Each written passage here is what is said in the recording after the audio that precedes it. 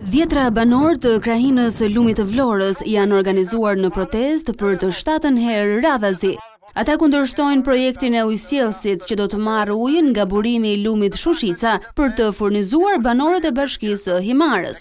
Është punuar këtyre pyjeve që nga pjesa e Pilurit edhe deri këtu në në këto pyjet e Kuçit në mënyrë tinzare, por ka ardhur një pikë, ka ardhur një një moment që Ka një vijë të kuqe, edhe kjo vijë e kuqe është këtu matanë, gati dyqind metra nga këtej. Sipas protestuesve, lumi Shushica është i vetmi burim jetese, ndërsa projekti është miratuar që prej janarit të vitit të kaluar. Ne e dimë se ç'dëm të pallogaritshëm do të sjellë devijimi i lumit, kalimi në Himarë. Do të thotë që kjo zonë të shpopullohet.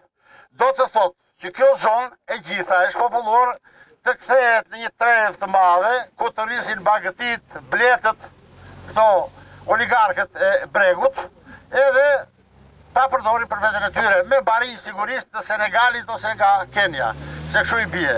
Dhe ana tjetër e problemit është që Këto bijtë tanë, fëmijët tanë, ia mbathin prej këtej bashkë me ne sigurisht. Duke i bërë thirrje qeverisë që të tërhiqet, banorët e kësaj krahine paralajmërojnë se në të kundërt reagimi i tyre do të përshkallëzohet. Komuniteti i tridhjetë e shtatë fshatrave as ka qenë dhe as nuk është dakord me këtë projekt që po zbatohet me një projekt kriminal.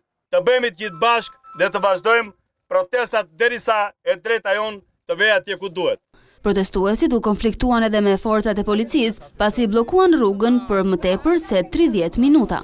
Jo, jo, këtu në mes, mos më prek me dorë. Fare. Të lutem mos më prek me dorë.